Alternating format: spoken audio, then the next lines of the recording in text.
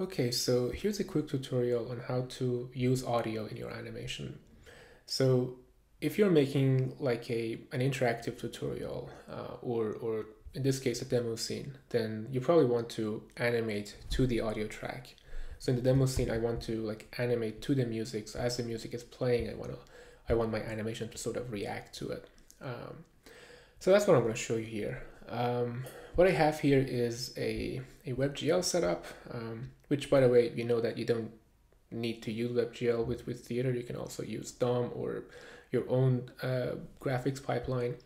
But here I, I have WebGL, uh, this really cool shader um, that uh, you can sort of play with, you know, all kinds of props that it has, like the frequency and, you know, the, the colors are, you know, you can play with them like that. Oh, look at that anyway, it's really it's really cool. I would I would get lost playing with this. Um, and by the way, thank you, um, Fabienne Fabienne Bielmann of Dimorph. Thank you for sharing the uh, the WebGL scene with us. Um, I hope I'm pronouncing your name right.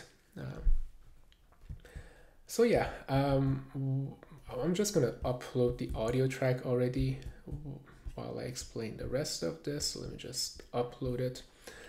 Um, if you haven't seen the crash course, um, give give that a watch. Maybe watch it at double speed. Uh, but once you do that, you know the API is going to make sense. And uh, what we're going to do here is that so we have a sheet called scene. So here here's our outline. The project is called demo two. The sheet is called scene, and here's the the one object that we have. We call it shader. And I want to add the audio track, and I wanted that as this the sequence of the sheet. So this is our sequence. As the sequence plays uh, it plays like perfectly in sync with the audio track. Um, so that's what we're, gonna do. Um, so the sequence has an API called uh, attach audio. So sheet.sequence attach audio. By the way you should get um, autocomplete uh, for all of this. I, I'm probably I have misconfigured my sandbox probably but you should you should get auto autocomplete and you know you know API documentation here. So uh, probably gonna fix that before before before releasing this. Anyway, so here's attach audio and it takes a source and the source can either be a URL or if you have your own web audio setup, like your own audio context and the nodes and stuff, there is an API to, to attach it to those as well. So you can look at the API documentation and you'll see how that works. Um, I'm gonna uh, get the URL to the audio, so audio URL from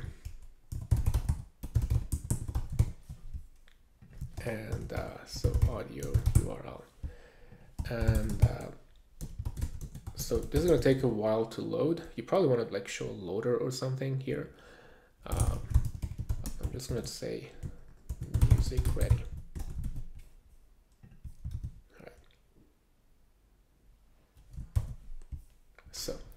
music is loaded. Let's see how it looks.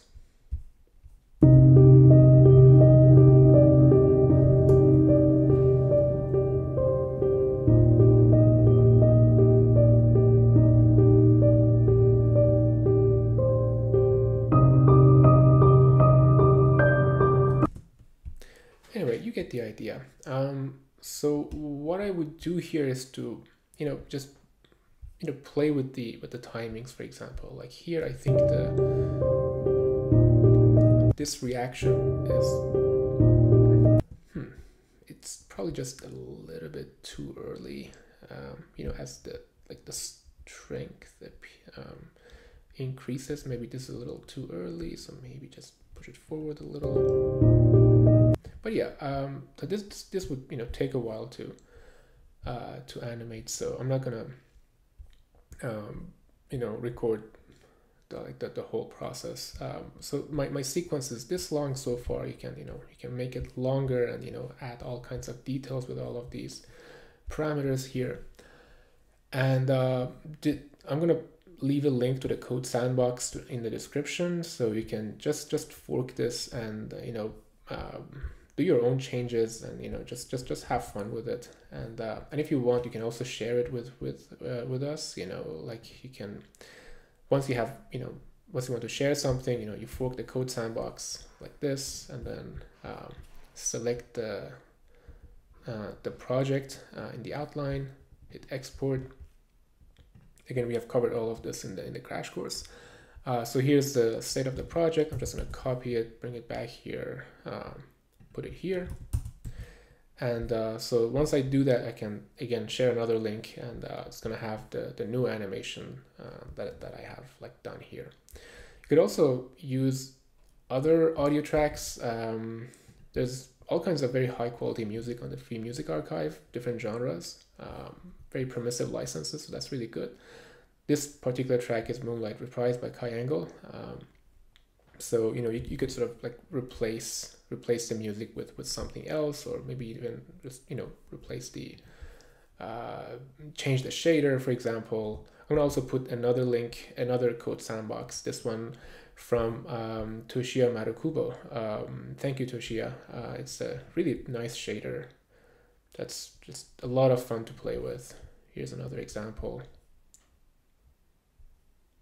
Yeah, it's just, you know, it's fun to animate these things to the music.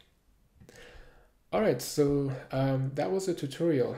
Um, again, join us on, uh, on, on Discord or uh, just follow the updates on, on Twitter. Uh, Theatre is open source, as you know.